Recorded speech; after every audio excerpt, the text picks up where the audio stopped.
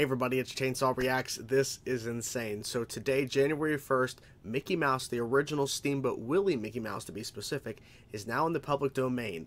And this gaming company released today Infestation 88 official reveal trailer, aka a horror game featuring the original Steamboat Willie Mickey Mouse as the monster whatever. And this is insane. Now, I don't know if they're if they could get in trouble because they were in development with this obviously before this reveal trailer. So I don't know if they can get in trouble legally because it wasn't until today that the public domain now has Steamboat Willie Mickey Mouse, and this was obviously in development before the date today. So I don't know, but regardless, this is crazy. This is insane. Let's dive in and let's check it out, shall we? I'm like, I'm like, this is real, and it is real. You know, there's gonna be a Mickey Mouse horror movie coming at some point. You know that's gonna happen. Anyways. Let's do it. Oh, no, there. There's a big text there, but we've got a bit of an public domain. I saw that there. Facility. We thought it was just rodents, but there's something else in here. Oh nests, they're everywhere. Ooh. Tried to take care of it ourselves, but things have escalated. The exterminators are our last hope. Please, help us before. Turn around.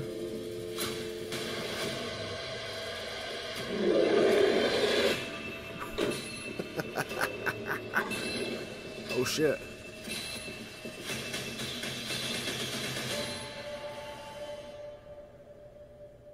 That's not creepy. Yeah, and of course it's black and white. Nightmare Forge games? Okay.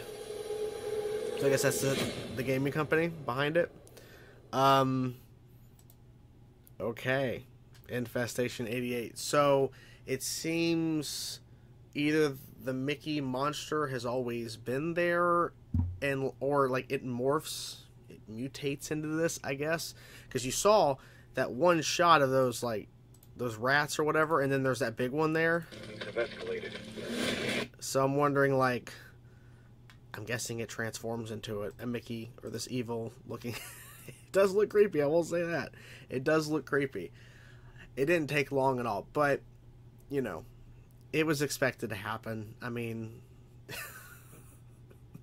the thing was too. Apparently, Disney was fighting for a while to get laws changed to keep Mickey Mouse from being in public domain or a version of Mickey Mouse.